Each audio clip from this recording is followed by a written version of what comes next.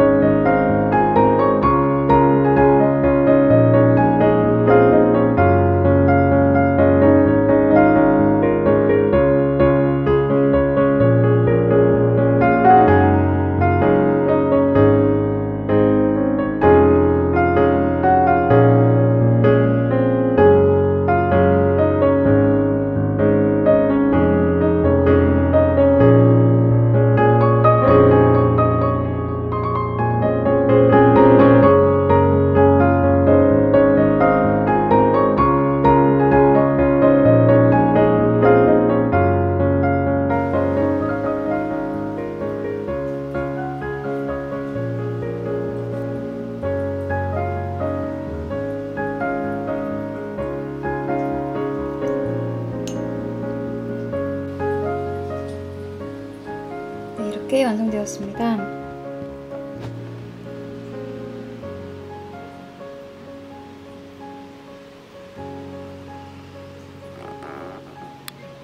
모래 부분에 그림자는 물 색깔로 칠해주었어요.